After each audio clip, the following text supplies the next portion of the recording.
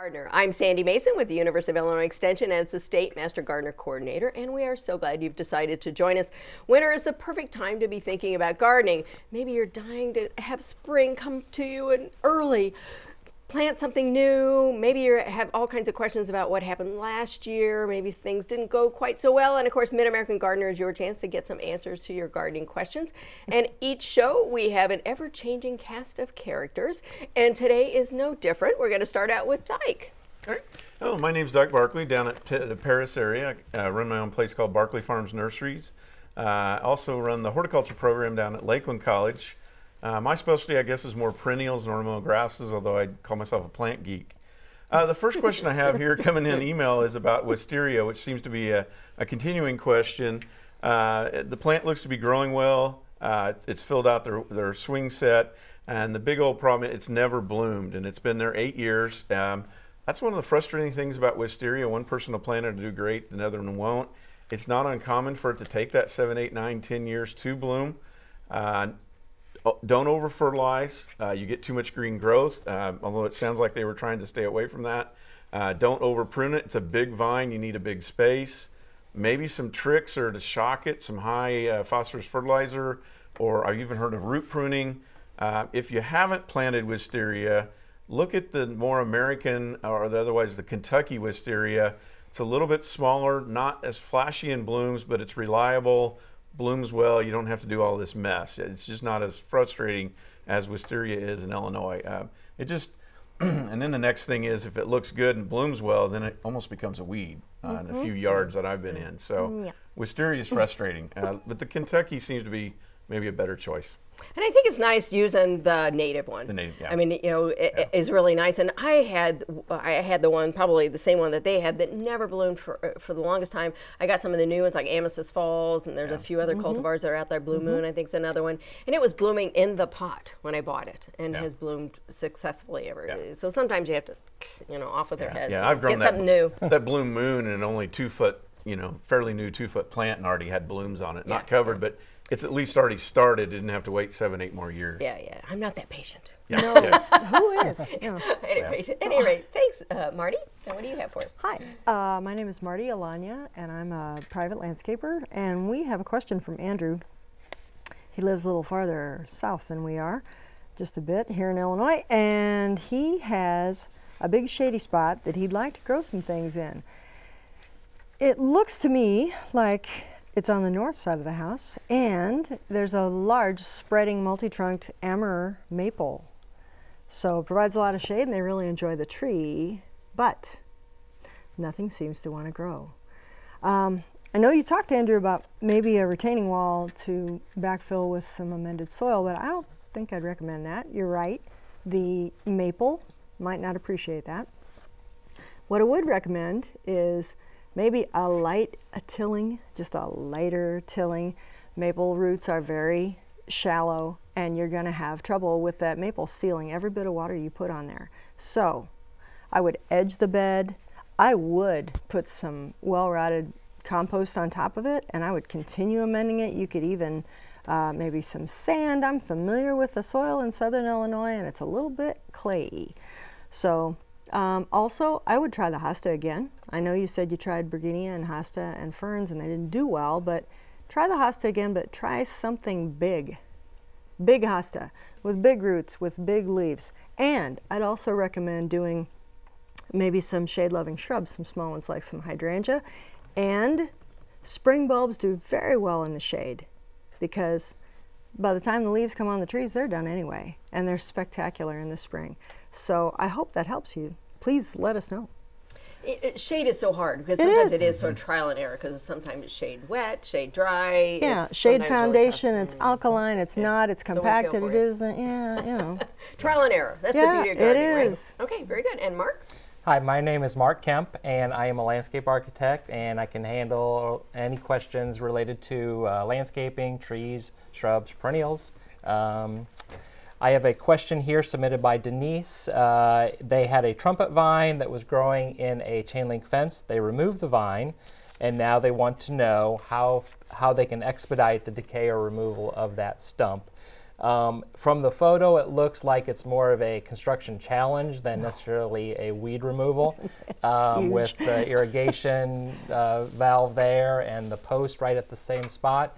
Um, so if you could get the fence peeled up a little bit, maybe you can get a handsaw of some sort and cut it off at the base, and then just peel or split the trunk out of the fence if it's intertwined.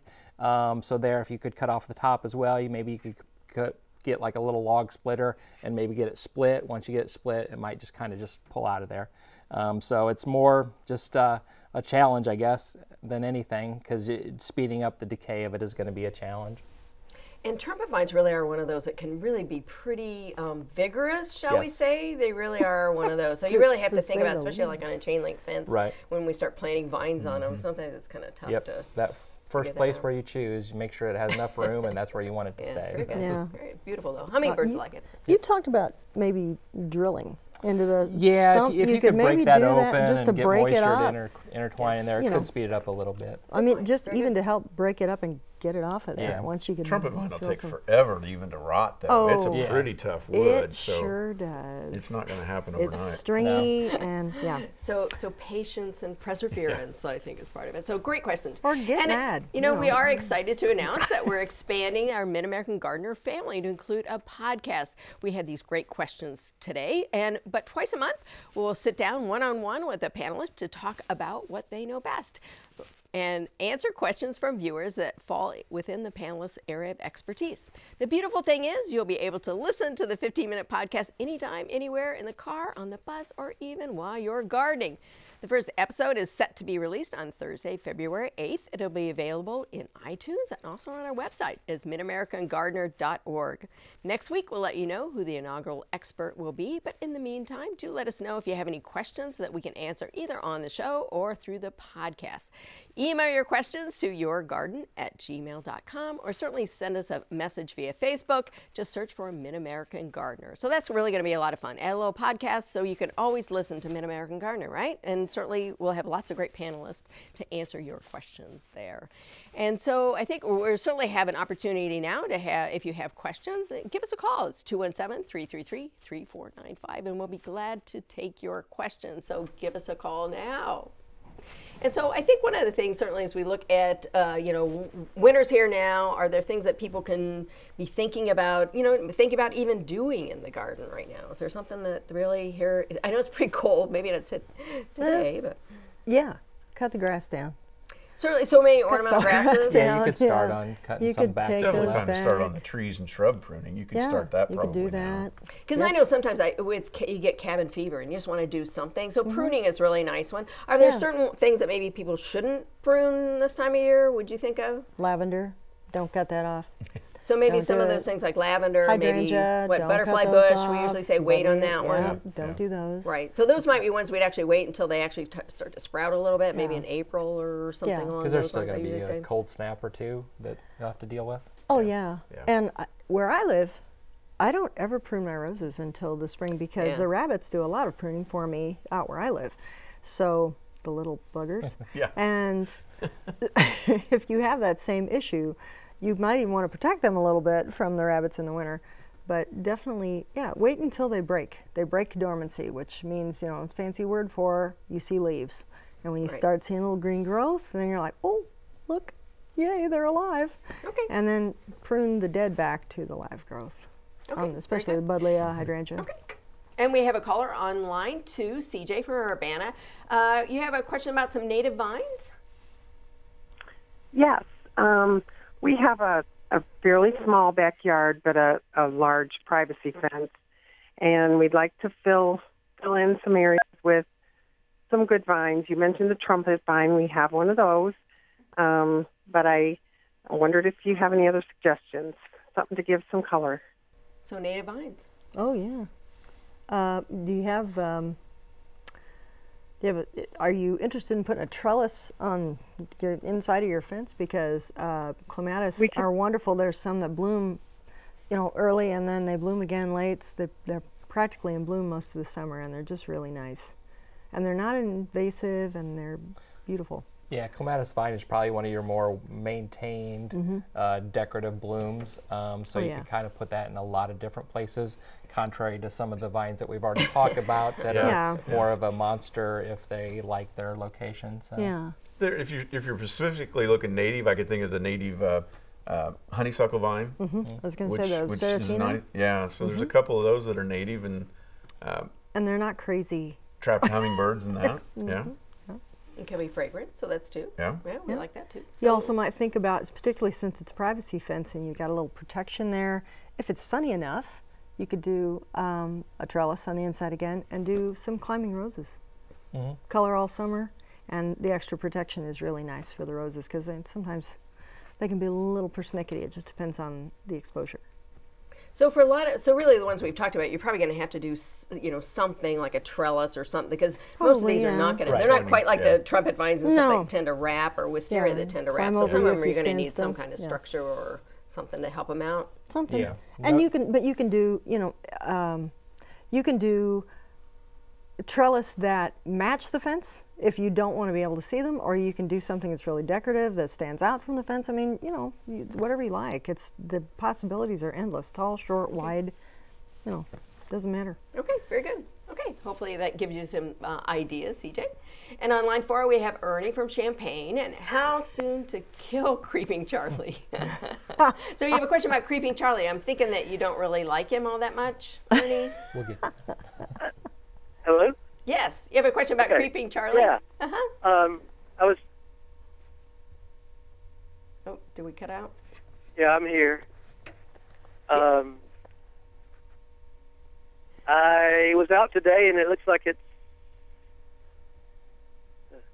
It's growing. Like it's starting to grow? yeah, yes. it's, it's growing Yeah. now and I'm Yeah. wondering if I could just use weed killer or when, how soon could I start to use weed killer? Okay, let's know about getting rid of Creeping Charlie. Yeah. you could. I don't You know. It's could. pretty Depends cool. on your You could. Yeah, yeah. You could. mean, I'll tell you what. yeah. You'd probably Yeah. be better. It's probably too cold to use Yes. herbicides, but you could pull it where you see it growing. If the ground's not frozen, and probably the ground's not frozen, frozen, but it's been a, we had a little thaw here. Um, if the soil's loose enough to get it up, pull it out. Yeah, usually, I, yeah. Go ahead. No, I, I think it's too early for chemical use. It's- yeah. We're not having enough warm days in a row yet for the chemical to really get in because most of those work by the plant Yeah. growing and it Taking it messes up, it up yeah. that way. So um, I, it, it's too early. It's too cold for that yet. Right. Yeah. Yeah. Most of your labels are going to tell you it's going to need to be a, a quite a bit warmer for that Yeah. to be actively working within like the plant. 50 degrees more. But y- you certainly can remove it. I mean, when you see it, I saw some in my yard the other day too. I was not happy. But just, if you can pull it, just pluck it out. I, you know, personally, I know a lot of people don't like it, but personally, it's actually a really good ground cover underneath. I have some pine trees and stuff, and it's really right tough now. to That's get. it. Out. it's really tough to get things to grow under pine trees, and it's like the one thing that'll Sure. grow under pine trees is this is this creeping Charlie. So I actually, in certain parts of my yard, I have I have creeping Charlie as a ground cover. You're benevolent. I it's You really know are. it, it looks good. You can't agree kill with the that stuff. Because if you It take it all is. away, It is pretty. You're still going to have a problem of then what to put back in there. Yeah. And sometimes lawn isn't always the answer. So. It's got a, it's got flowers on it, so I say you know that's. But you know that is one of those things that we go we talk a lot about the, on the show about you know you know one person's weed is another person's wildflower, Right, and I think we could probably all you know talk about certain plants that we love that other people would certainly consider as as weeds. Or I, would see, I don't mind violets as well as of. You know, that's another one. But and they're and they're really hard to eradicate. Mm-hmm. You know, but still, I I, like, I prefer them over creeping Charlie. But still, you're right. It is beautiful when it blooms. Beautiful. It's very right. pretty. And actually, you know, violets are the state flower of Illinois. They are. So That's here- good because they're So we got to leave some frickin' of it where, in the yard. Okay. I'm just saying. I'm just saying. Some just It's only saying. right. and on line two, we have uh, Steve from Bloomington. Uh, you have a question about Japanese maples. What can we do for you? Yeah, can you uh, please tell me when's the best time to prune on Japanese maples? Okay. You could- Pruning. Prune now. Yeah. Um, Yeah, I don't. Are you just pruning for shape, uh, or is or is it hanging too low, or something? Japanese maples don't typically get very much pruning. Yeah, it's New hanging growth. too low. I have I have a weeping Japanese maple, and it's Yeah. just hanging too low. If it's hanging too low, you might want to you could address the structure of it, the bones of it. Mm-hmm. I mean, if there's an obvious branch that is lower than you would like, then now you, you could take that off now. Mm-hmm. But if you want to see what's in your way, then if you waited for a full leaf um, to come out, then those are going to basically hang a little bit lower, and then you would know exactly where to prune. But either or, I think you would be mm-hmm. fine to kind of go ahead and take some off. Okay, very good. And when you prune, prune flush. Don't don't leave a, a little bit sticking out so it can sprout, unquote unquote. People do that. It makes me makes us all mm, crazy, does it Yeah, not? I, to you. me, oh, I'm sitting here thank you. thinking Japanese maple. I mm-hmm. mean, it's a dainty tree and doesn't grow depending on which one you have, but it would be pruned the same time you would prune any woody plant. So to answer a bigger question, when's the time to do it? it I usually say Feb- Valentine's Day is an easy day to thing to re- kind of remember the time of the year. We're kind of there. We're warming up. I mean, again, January 50 degrees today, crazy, but uh, you know, but this up and down. But it's time. You could you could do it now. Okay, very good, very good. And on line three, we have Betty from Champaign. It seems to be a pruning night. So you have a question about dogwoods? Yes, I do. Can you hear me? sure, go right ahead, Betty. Okay, um, well, I have two dogwoods in my front yard, and they're under a bur oak tree. And so they're understory trees. And I've had them for about eight to ten years. But I'm thinking now I kind of need to maybe prune them. And I'm wondering if um, they need to be. Or I need, I need to know how to prune them These are if I need to kind of like top them or cut the lower branches, um, and and how I need to do this.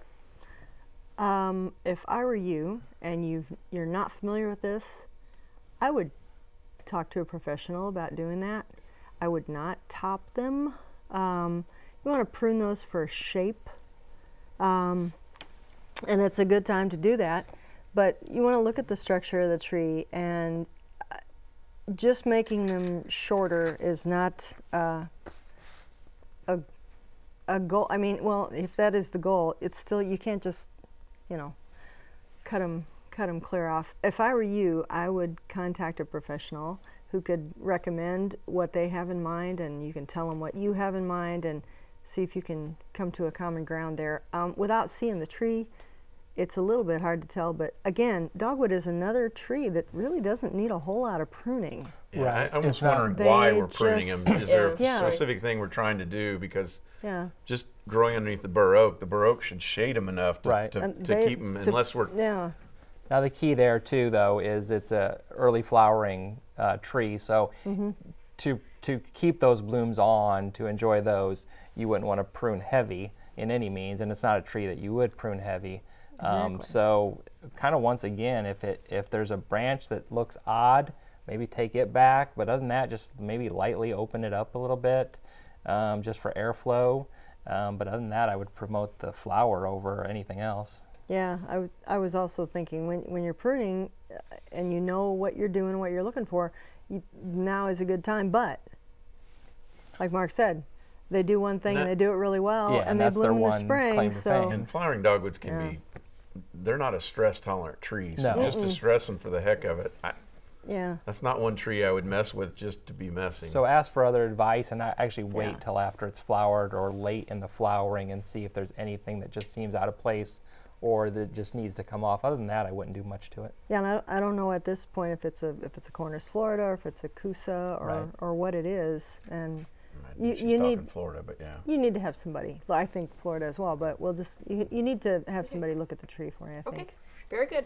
Well, and it is one of those things that sometimes, it, you know, they certainly might be able to take a picture and then just email us a Uh-huh. picture, Right. and we There might you be able to help you out a little bit more with that. So that might That be a good help. one Maybe too. good so for the podcast. Good. Yeah, good for the podcast. Yeah, that'd be good podcast. There you go. and online, We'll two, come we to have your uh, house. Shirley from Bloomington. You have a question about an evergreen? I think it has Uh, some foliage yes, issues. um, I have two evergreens that are out in front of my house, and both trees are missing foliage towards the bottom of each tree and on the side, and they've been like that for the last couple of years. And then they, the branches that have no foliage on them, they kind of got like a green and gray um, kind of coating on the dead branches.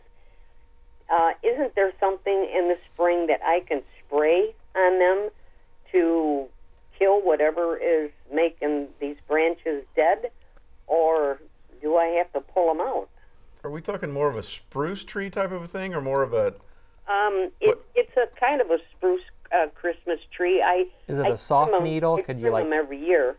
Can you put your hand in it and it's not real prickly? Is it like a larger or like a wider needle? I mean, is it you? You described it as a shrub. Um, no, it's not a shrub. It's, a like tree. a, Okay, cr- a shape a of a. Christmas Okay. tree. Yeah. and you don't you don't know what the variety is? Branches have like a coating of grayish green, No, the foliage. Is Yeah. the foliage dark green or is it bluish or is it? uh, kind of bluish gray. Okay. I think well, I'm like thinking the coating lichen. is a secondary. That's just a dying, Yeah. rotting branch. I yeah. Yeah. usually a lot of evergreens living up. It goes back to the droughts we had a few years ago. It, it, the tree sacrifices its lower limbs, Mm-hmm. and once they completely go bare, they'll never put needles back out again. Right. No, so there's not. th- You don't need to spray anything Yeah. necessarily. It's a Right. like like Dyke said, it's a secondary thing that once that's opened up and that branch isn't needed anymore, it's going to start decaying. I think the other question is: Is it continuing to keep spreading, or did you see this? You said two Yeah. years, but I'm wondering if it happened and now it's not really spread. I don't know. I would. Or but is I, it I would be a moisture problem in summer drought. Or is it getting more shade than it was before and the foliage is getting shaded out? I mean, This might be another a good one to to, get a picture because I think sometimes it's mm-hmm. really hard for us to really kind of tell what's going on. But I really wonder mm-hmm. if it is, this really isn't just a stress issue and it's losing Yeah, its that- lower branches. 'Cause you don't wanna like that. treat something if you don't know the- treat it. Yeah. Yeah. Right, It could be a virus, could be disease, could Right. be. the branches with no foliage are done. They're never coming yeah, back. they're never coming back. Okay. Okay. And on line four, we have Mark from Champaign about pruning blue spruce. What can we do for you, Mark? Hi, I have a blue spruce that's outgrowing its spot and wondering if it can be pruned and how severely it can be pruned. Wow, good question. Pruning spruce. Well, you've got a group of panelists. I don't think any of us are into major pruning like that. I, No. Spruces are tough, but that's one of those you kind of let it. To me, you let it go till you can't stand it, and then you're done And then you start over. And Yeah. start over again. I Yeah. I've seen them pruned and sheared, and and it starts them in a slow decline. It's just not a tree that's made for that. And then in my yeah, opinion, and it's labor intensive, and the the look of it is not as Right. attractive. I mean, Yeah. taking one branch or shortening one, but trying to shape the whole thing like we do with other needled evergreens, I no. It doesn't Spruces work don't very take well. that. Unfortunately, that's a more of a design and a placement issue. So whenever it was originally put in, knowing its eventual mature size, um, I agree. I agree. Yeah. Yeah. Sorry- not, sorry about that. not the that. answer, but I that's yeah. I know, enjoy I- it till you can't stand it, and then Yeah. I, I, I ended up moving one. It was a beautiful tree and it was just too big, the Mm-hmm. blue spruce. So I actually ended up moving it, which which sometimes that's the issue. sometimes Right. you can actually move Right. spruces pretty easy too. So that may not be the answer you want, Mark. right? but we Yeah. don't know how an large it answer. is. Yeah, don't know how At big any that rate, tree is. but- And on line six, we have Art from Mahomet, and you have a question about cleaning up underneath pine trees. Yes, I do. Um, I have a couple of large pine trees that are in my yard, and they have a lot of uh, needles that have dropped laying around, uh, and there's a pretty thick coating uh, under them. I wanted to know if I should be raking those up and getting those out of there. If so, what time of year is best? Whatever. I always leave them. yeah, it's free mulch. Yeah, Yeah, it's a natural is. mulch. Yeah. and Doesn't it's- hurt the tree. Tree loves it actually. Yeah, it's just what the tree wants. Now, if you have more than you need and it's- it's excessive for some reason, you could take a little bit of them out there. But yeah, I would leave them if they're not doing any. They Usually, just, as soon as you start removing them, you're going to have weeds and things, Yeah. unless you Yep. got a ground cover. yep. If it's bare, I think I would, I would leave. Yeah. It's going to retain moisture. It's going to. I like the way work. they look, like it. actually. Yeah, I like the way we're- I and like it's- the way they smells look, good, too. and God knew just what they You they can cross that off your list of things to do. Just Yeah. don't clean up any of the binders. Okay, great. And on line five, we have Judith from uh, Lincoln, and you have a question about cactus. Hello? Hi. Yeah. I have a question. I have a Christmas cactus and it's just now blooming after seven years. Oh, exciting. Yeah. I've only got one flower on it. Now, Enjoy that one any more, flower. Or will I have to transplant it? You ought to see it. It's growing all over my dresser in my bedroom. Okay. Well, we're glad it's finally blooming. But what can you? Are there things that people can do to get them into flower? Christmas cactus has to be a cold treatment. It's got to get down, not not freezing, but it's got to drop in temperature and then come back up. And that's Uh, with modern day houses, we kind of keep them all a steady temperature, and that doesn't happen. So you've got to cool it down. I don't know the temperature. It's in the 50s, I thought. Am I making that up? Like 55. Yeah, so it's not ridiculously cold. Put it in a room that's not heated as much, a back room, somewhere like that. But but that's why you're not getting the blooms if the plant looks healthy. Is Mhm. you're not triggering it to go into blooming. It thinks it's still in the in the growing stage. Yeah, yeah, but we're glad you got one flower. Got one Yay, flower, good for yeah. you. And we going. always we don't have time for all our questions this evening, but remember you can always email us. And remember we're going to have a podcast starting February 8th, so we know you want to be excited about that one and make sure that you tune in for that as well as send us your questions and we'll answer them either on the show or on the podcast. So thank you all very much and I hope everybody is dreaming of spring. Have a great week gardening. Thanks.